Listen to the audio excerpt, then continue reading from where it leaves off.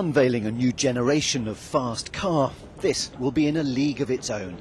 Bloodhound SSC, or supersonic car, is designed not just to break the current land speed record of 763 miles an hour, but to smash it.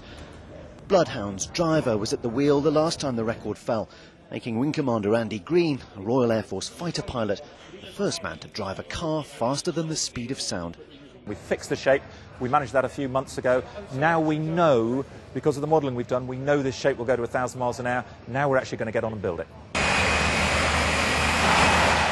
Bloodhound SSC, named after a missile, is powered by a combination of a rocket and the jet engine from a Typhoon fighter. From a standing start, it'll reach 1,000 miles an hour in just 45 seconds, be stationary again just 100 seconds and 10 miles later.